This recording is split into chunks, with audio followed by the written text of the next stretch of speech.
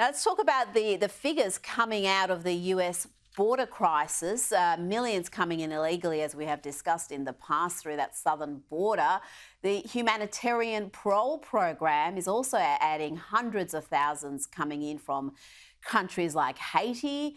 But that's not enough because there's also what are called the getaways. These are the record numbers who come through undetected the estimates uh, are around 1.8 million have come through since 2021. And let's look at how they do it. As Fox News's Bill Melugin uh, notes, they all step into the same footprints as they walk, and then they use branches to clear the tracks behind them to make it harder for Border Patrol to track them. Uh, this footage is is uh, well, it's worrying, Ami. They're, they're mainly male, military age. Do we know much more about them? Yeah, look, no, we we that, by definition we don't know a lot about them because they are getting in illegally. They're illegal aliens. Yeah, I use that term. More on that later. Um, and so we don't know. But I'll tell you what we. Yeah, I'll, I'll tell you this is that uh, we are bombarded in our media with examples of criminal of criminal behavior by these illegal aliens. Uh, we've seen violence, illegal behavior, you know, and now what we're seeing, this new kind of trend we're seeing, this idea of squatting. Now, I don't know if people in Australia understand what this concept means, but in the blue states here, what, what they've done is they've legalized people essentially stealing homes. I know that sounds crazy, but essentially, if you break into a home and you are there for more than a certain amount of days, you would now have legal rights to that home, despite the fact you have zero connection to it, and it becomes very difficult for the real owners to kick you out. So these illegal aliens have now are now gaming the system, and we're now bombarded with new images of these illegals now squatting in homes and taking over homes. Look, I know Biden wants to do nothing for the border because he thinks that's some kind of electoral win from him, but just from the sense of self preservation, this thing is so out of control. You would think he'd want to do something just for his own electoral prospects. Never mind that he doesn't care that we have open borders, right? That's real philosophy. But just from a self preservation concept, he would think he would do something. He's doing, he's so bad at this, Rita. He's so bad at this. This is why Trump is beating him consistently in the polls for things like this.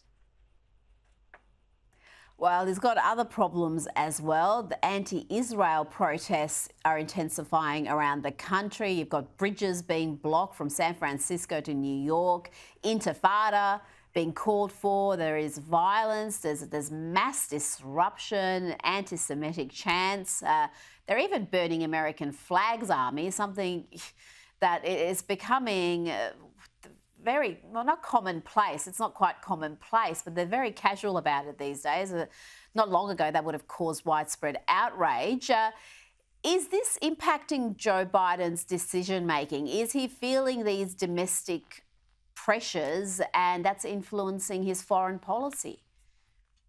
Mm, let me think about that one. Duh yeah, of course it is. uh, and by the way, a massive miscalculation on his part. Look, my daughter just texted me literally five minutes ago.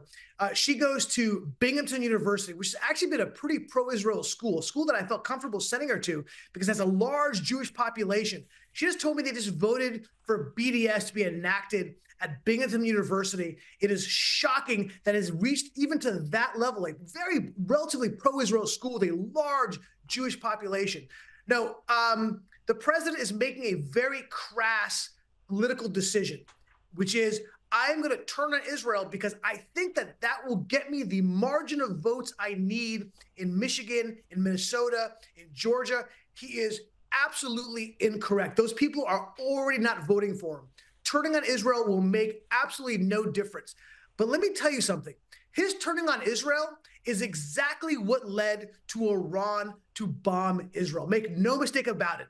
If his if his precipitous and foolhardy Afghanistan withdrawal beget the Ukrainian invasion, which it did, his turning on Israel and Gaza beget the Iran invasion. You are crazy if you don't think so. And by the way, Iran didn't calculate wrong. He's already calling for de escalation. What? What is he talking about?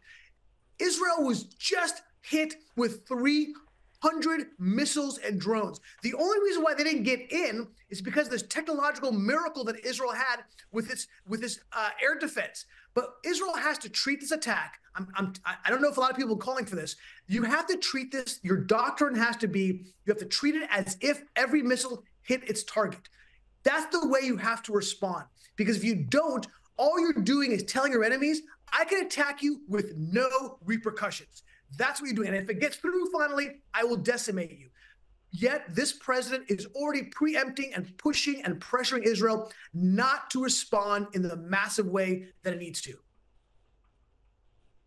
it, it is. Uh absurd to suggest that Israel's had a win because Iran did limited damage with this uh, attack. And that seems to be the, the narrative that's being pushed widely that Israel doesn't actually need to have a counterattack because they've already won. The, the, the, the Iran was uh, ineffective in its attack. Now, you mentioned. Uh, the word illegal alien uh, earlier and, and, how contentious that has become. And a North Carolina high school student, poor kid here, Christian McGhee, was suspended from his school for saying illegal alien in the classroom. From what I can work out, he, he said the term in the correct context in an accurate context. it's a legitimate phrase to describe something, but apparently his use of the, the term illegal alien, Ami is offensive to Hispanic students.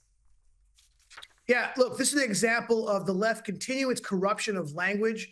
Uh, it's Orwellian, literally, as Orwell said, that uh, that that thought corrupts language and language corrupts thought. Illegal alien is in our legal code. Illegal alien is in the dictionary. It's absolutely the right term to use. Yet the left uses it because they want to change culture. That's exactly what they are doing.